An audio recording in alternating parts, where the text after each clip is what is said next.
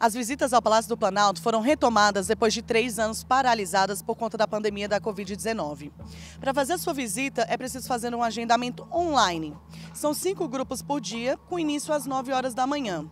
E quem veio fazer a sua visita tem muito o que falar e tem gostado bastante. Fiquei muito feliz, gostei muito da visita, das coisas bonitas que eu vi diferente, que a gente vê de longe na, na, na televisão, mas não faz nem ideia como é que é, né? Então, eu gostei demais. E a senhora, o que, a senhora acha que pode proporcionar essas visitas? A senhora acha que as pessoas começam a valorizar um pouco mais a sua história? É, então, acho que sim, né? A gente tem que ter amor à nossa, às nossas coisas, à nossa pátria, né? Então, a nossa bandeira, né? Então, com meu neto aí, quando ele era pequeno, a gente cantava o hino nacional quando estava no carro com ele. Sempre gostei muito.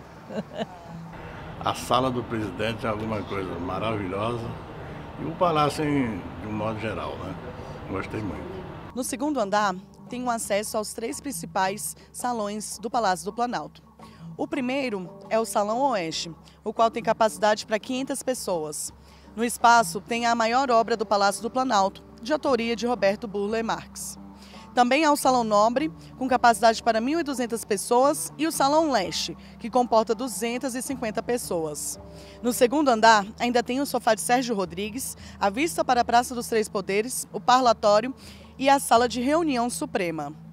Também é pela rampa interna do segundo andar que se sobe ao terceiro andar e último da visitação no palácio. Ali, o público pode ter acesso à sala do presidente da República. Para mais informações sobre a visitação ao Palácio do Planalto, acesse o site do Poder 360. Até a próxima. Poder Monitor. Acesse agora e ganhe 30 dias grátis.